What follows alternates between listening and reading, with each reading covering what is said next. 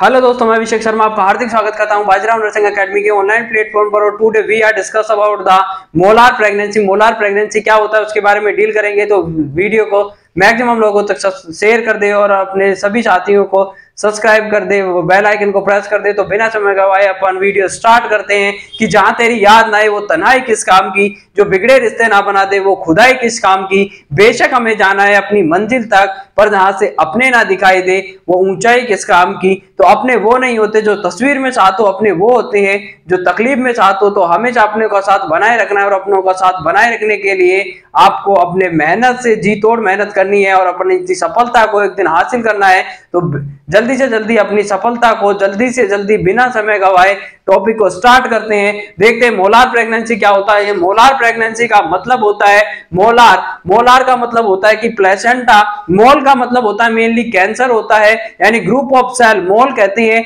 तो group of cell और group of cell को ही नाम दिया जाता है यहाँ पर कि एबनॉर्मल अगर ग्रोथ होने लग जाती है तो उसे कैंसर कहते हैं। जबकि मोल की बात कर लेते हैं कि मोल क्या होता है। मोल का मतलब होता है ग्रुप ऑफ़ सेल सेल का जो ग्रुप होता है, उसे मोल के नाम से कहते हैं। अब इसका जो मोलार प्रेगनेंसी होती है, इसे हाइड्रेटेड फॉर्म मोल के नाम से जानते हैं। तो molar pregnancy is also known as hydrated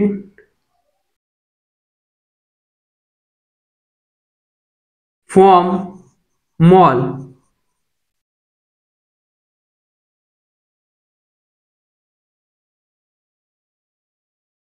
molar pregnancy को हाइड्रेटेड फॉर्म मोल के नाम से भी जाना जाता है। मोल का मतलब होता है ग्रुप ऑफ़ सेल जबकि हाइड्रेटेड का मतलब होता है फ्लूड फेल्ड कैविटी हाइड्रेटेड और हाइड्रेटेड का मतलब होता है फ्लूड फिल्ड कैविटी जिसमें कि फ्लूड फिल्ड होता है, उस कैविटी को नाम दिया जाता है हाइड्रेटेड का मतलब होता है कि फ्लूड फिल्ड कैविटी, यानी फ्लूड से भरी हुई अगर कोई कैविटी है तो उसे हाइड्रेटेड कहेंगे, जबकि मोल का मतलब होता है ग्रुप ऑफ़ सेल अब गैस, मोलार प्रेगनेंसी होती है, उसे हाइड्रेटेड फॉर्म मोल के नाम से भी जानते हैं तो हाइड्रेटेड फॉर्म मोल के नाम से जाना जाएगा।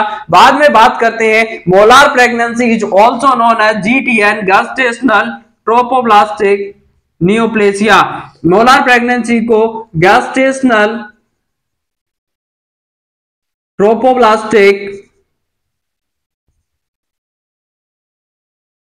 नियोप्लेसिया के नाम से भी जानते हैं तो यहाँ पर इसके बहुत से नाम देखने को मिलेंगे आपको मोलार प्रेगनेंसी का। और एक्चुअल में जो मोलार प्रेगनेंसी होती है मोलार प्रेगनेंसी का मतलब होता है कि प्लेसेंटा का कैंसर होता है, जिसमें जो विलाई होती है प्लेसेंटा की जो विलाई होती है, वो abnormal shape and character develop कर लेती है। जो विलाई होती है, वो मेनली देखने को मिलती है। फिंगर शेप की विलाई होती है, वो एक्सेसिव ग्रोथ करके फिल्डिया कैविटी लाइक स्ट्रक्चर में चेंज हो जाती है तो इसे पूरा नाम दिया जाता है, जो कि विलाई होती है, वो फिंगर शेप की विलाई चेंज होकर के कैविटी लाइक स्ट्रक्चर डेवलप कर लेती है। तो यहाँ पर आपको लिखना है कि जीटीएन का मतलब होता है गैस्टेशनल ट्रोपोप्लास्टिक नियोप्लेसिया या इसे ही नया नाम दिया जाता है choriocarcinoma choriocarcinoma carcinoma का मतलब होता है कैंसर, कोरियन का मतलब होता है प्लेसेंटा का कैंसर। तो यहाँ पर आप इसका मीन्स हो गया कि प्लेसेंटा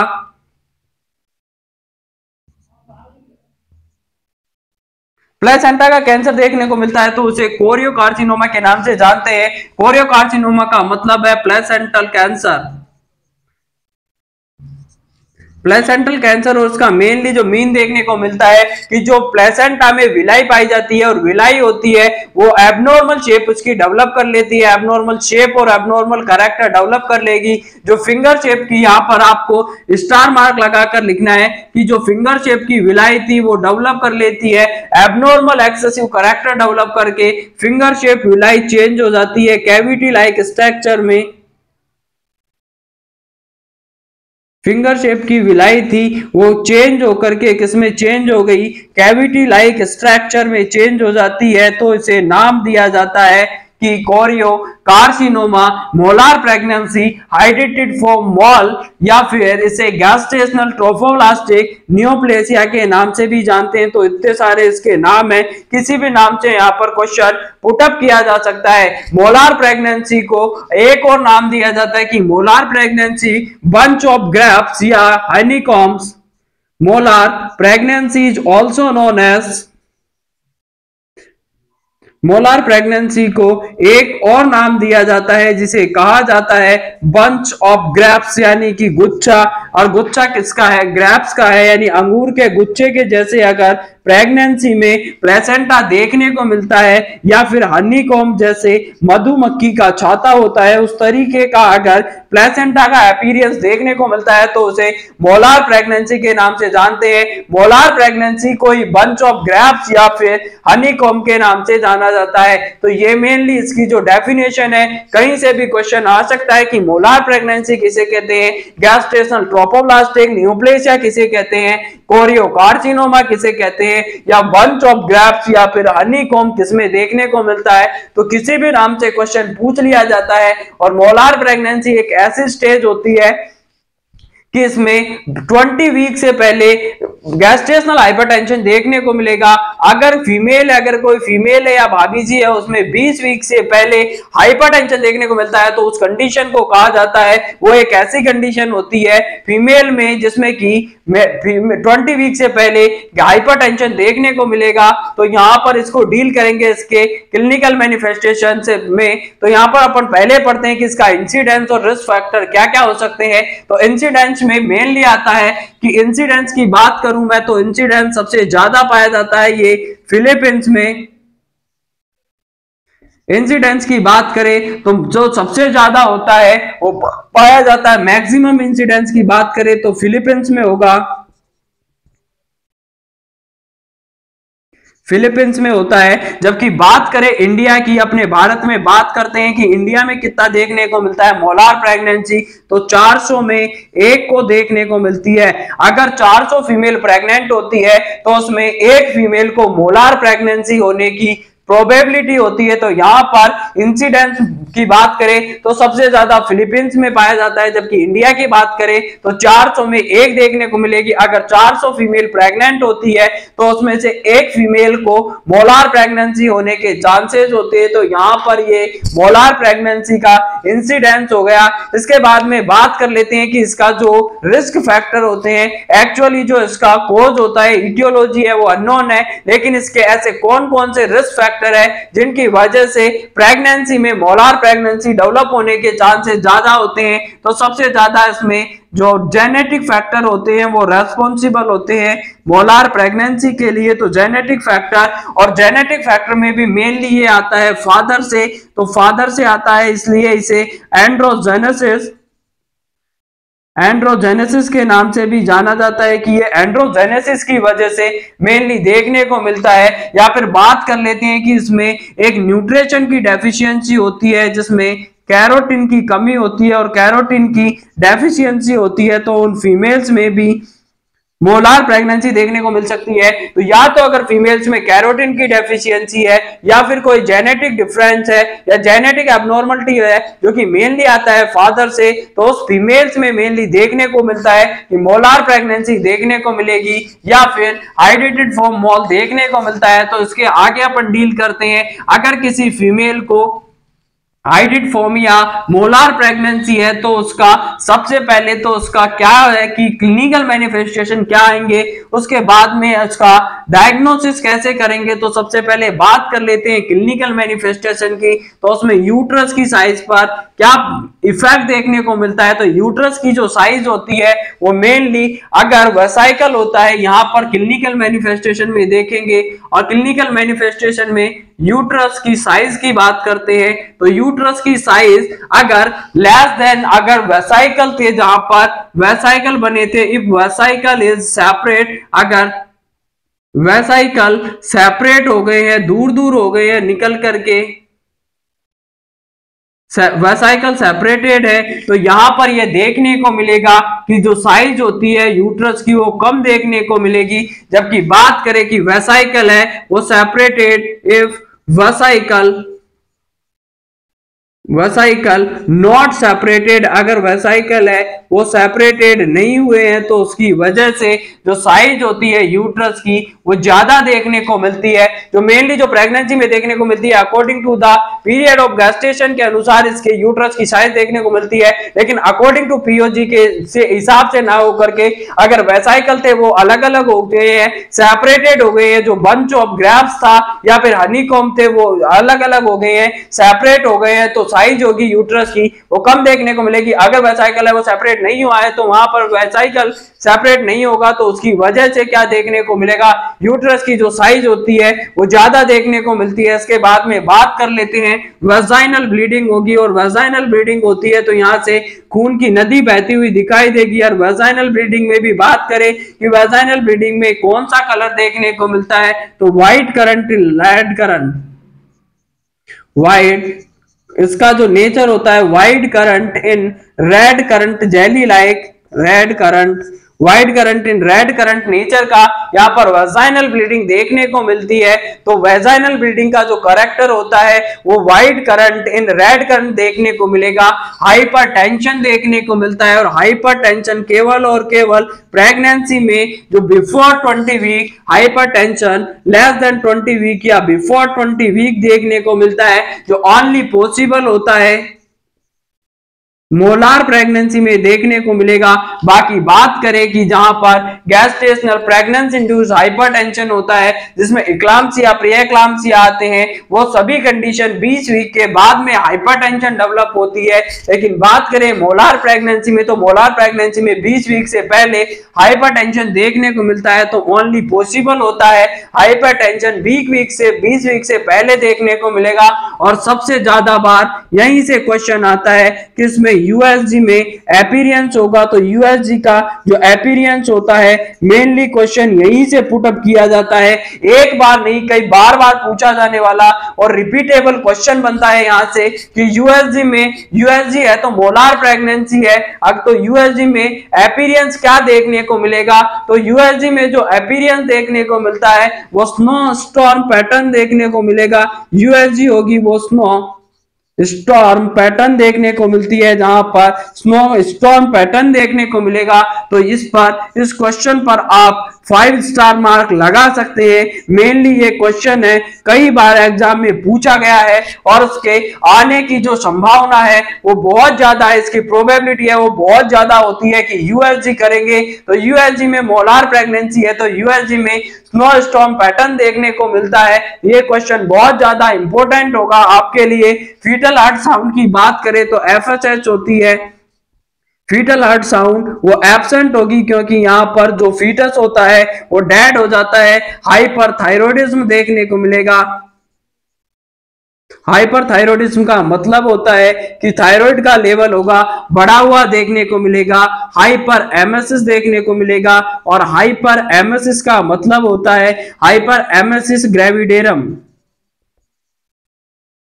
हाइपर एमएसएस का मतलब होता है excessive vomiting in during pregnancy excessive vomiting करेगी जो फीमेल्स है उसको एक्सेसिव वोमिटिंग होगी और इन ड्यूरिंग प्रेगनेंसी के दौरान एक्सेसिव वोमिटिंग होती है तो उसे नाम दिया जाता है हाइपर एमएसएस ग्रेविडेरियम के नाम से जाना जाता है तो जो कि daily activity of life daily activity D A L Y daily activity of life को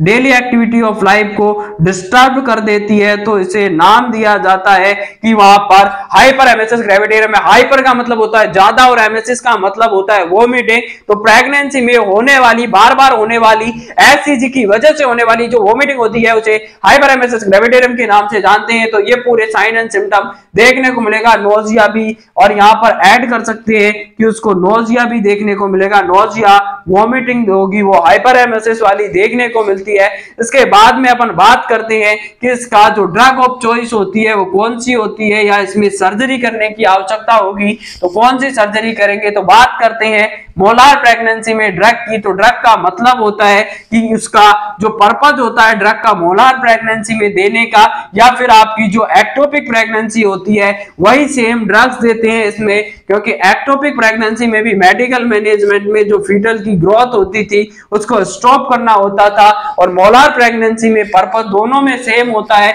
तो यहाँ पर मेडिकल मैनेजमेंट की बात करें तो मेडिकल मैनेजमेंट में मैथोट्रक्सेट देंगे और मैथोट्रक्सेट होती है यहाँ पर, वो क्या करती है जाकर के, जो फीटस की ग्रोथ होती है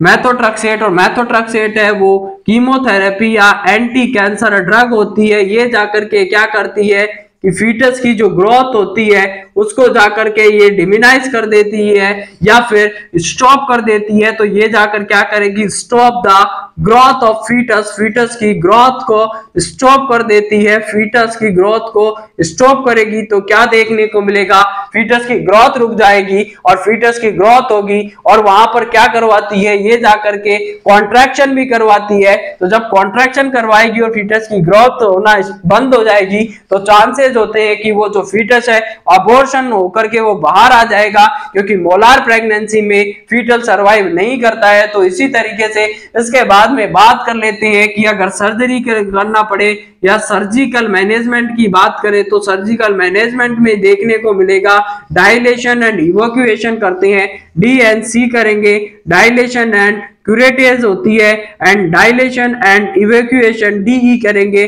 Dilation and dilation and curettage करते हैं, जहाँ पर प्यूरिटी की यूटेराइन प्यूरिटी की हेल्प से यूटेराइन कैविटी को फ्लश कर देते हैं। और वहाँ से जो यूटेराइन में मटेरियल था, किसका? यहाँ पर यूटेराइन में मटेरियल था मोलार प्रेगनेंसी का। उस मटेरियल को क्या कर लिया जाता है? स्क्रैपिंग आउट करके बाहर निकाल देते हैं और डायलेशन में डायलेट करके उसे इवेक्यूएट करते हैं या वैक्यूम की मदद से वैक्यूम की हेल्प से उसको प्रोडक्ट ऑफ़ कंसेप्शन को रिमूव आउट कर दिया जाता है। तो इस तरीके से मोलार प्रेगनेंसी होती है, उसको डील करते हैं। मोलार प्रेगनेंसी बहुत ही इंपॉर्टेंट होता है, जहाँ पर, यहाँ पर बात कि ये नॉर्मल जो विलाई थी, वो जाकर के एबनॉर्मल उसकी ग्रोथ होने लग जाती है एक्सेसिव करेक्टर उसमें डेवलप हो जाते हैं, जिसकी वजह से जो फिंगर शेप विलाई थी, वो चेंज होकर के उसकी स्ट्रक्चर होती है, वो कैविटी लाइक स्ट्रक्चर में चेंजेस हो जाती है। तो पूरी मोलार प्रेगनेंसी अगर समझ आई है तो वीडियो को लाइक शेयर सब्सक्राइब करें और अपने मैक्सिमम दोस्तों तक इसको शेयर कर दीजिए, ताकि आने वाले सभी स्टूडेंट को या नॉर्थ साइड एस्पिरेंट या जो भी कॉम्पिटिटिव एग्ज़ाम है, उन सभी में उनको फ़ायदा मिल सके और ज़्यादा से ज़्यादा लोगों तक इसको मैक्सिमम सब्सक्राइब करें। तो कि मन जीना दस्तूर है ज़िंदगी का कि मंजिल को बुलाकर जिया तो क्या जिया? है दम तुझमें तो उसे पाकर दिखा।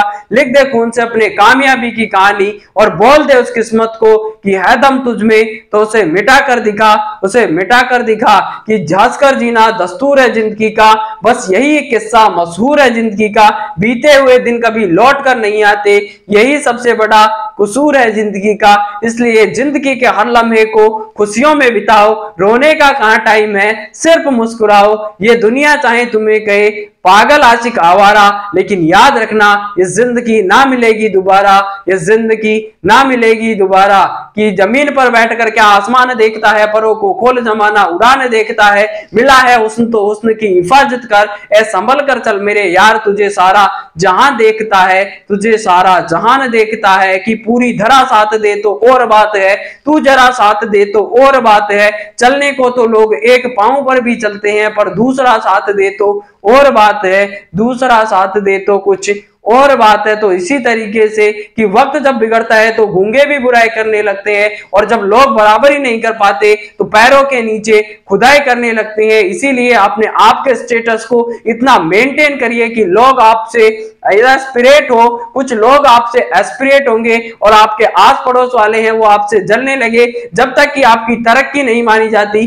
तब तक कि लोग आपसे जलने ना लग जाए। जिस दिन लोग आपसे जलने लग जाएँगे, आपकी बुराइयाँ करने लग जाएँगे, उस दिन समझ लेना कि आप एक सही राह पर जा रहे हैं। आपको सक्सेस होने से कोई नहीं रोक सकता है। जब तक लोग आपकी बुराई नहीं करते हैं, तब तक मतलब है इसका कि जब तक आप कुछ ऐसा नहीं कर रहे हैं कि लोगों की नज़र में वो आपके सक्सेस को खोल सकती है। लोगों को लगता है कि अगर ये सक्सेस होगा तो ज़रूर लोग एक दिन उसकी बुराई करने लग जाते हैं। लेकिन आपको लोगों की बुराई को ना सुनते हुए, अपने आप में एक पॉजिटिव मोटिवेशन के साथ बिल्कुल बहरे होकर के जब तक आपको सफलता नहीं मिलती है, लोगों को आपको मुँह से उसका जवाब नहीं देना है। आपको जवाब देना है अपने लक्ष्य पा करके लोगों की अपने आप बोलती बंद हो जाती है। जिस दिन आपको अपना लक्ष्य मिल जाता है, लोग आपकी बुराइयाँ करना बंद कर देते हैं तो यहाँ पर अपन देखते हैं कि सफलता और असफलता में केवल एक ही फ़र्क होता है। सफलता आपका परिचय दुनिया से करवा देगी और असफलता दुनिया का परिचय आपसे करवा देती है।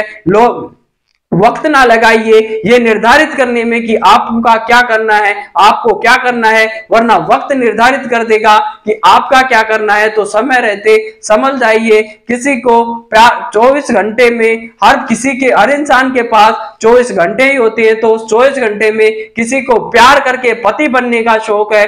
तो किसी को मेहनत करके करोड़पति बनने का शौक है। अब आप ये डिसाइड कर ले कि आपको पति बनकर रहना है या आपको करोड़पति बनकर एक सक्सेस लाइफ जीवन जीना है तो आपको सक्सेस पाने के लिए आपको मेनली है, वो हार्ड वर्क करना पड़ेगा और हार्ड वर्क होता है, उसका कोई सब्सटीट्यूशन नहीं होता है तो there is no no substitution of hard work hard work करते जाइए आप अपनी मंजिल के, उतने ही करीब जाते जाते हैं, जितनी आपकी लाइफ स्ट्रॉन्ग मेहनत से भरी हुई होती है या फिर संघर्ष से भरी हुई होती है तो आपकी लाइफ होगी जितनी स्ट्रांग बनेगी और जितनी ज़्यादा आपकी लाइफ स्ट्रांग बनती जाएगी, आपकी दिक्कत या परेशानियाँ जो भी आ रही है, वो अपने आप कम होती चली जाती है। तो जितना ज़्यादा आप संघर्ष करोगे अपनी लाइफ में, क्योंकि जहाँ पर संघर्ष होता है, वो जो लोग संघर्ष से कभी परिचित नहीं होता है, इतिहास गवाह है, वो कभी चर्चित नहीं होता है तो यहाँ पर आपको कभी भी संघर्ष से इसीलिए व्यक्ति को नहीं भागना चाहिए, क्योंकि ज़िंदगी हो या व्हाट्सअप लोग स्टेटस देखते हैं, और आपको अपना स्टेटस मेंटेन करने के लिए नर्सिंग ऑफिसर बनना है, और अस्सी हज़ार रुपए की